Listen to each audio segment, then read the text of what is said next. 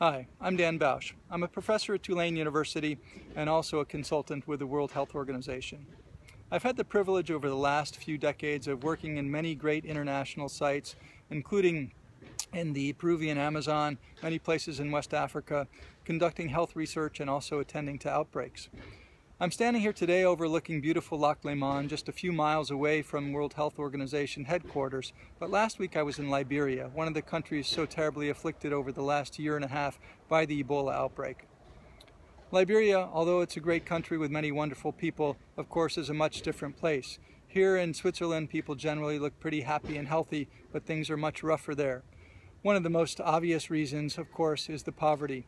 The United Nations Human Development Index, uh, indicator of poverty, is number 175 in Liberia, whereas here in Switzerland we're at number three, and the United States we're at number five.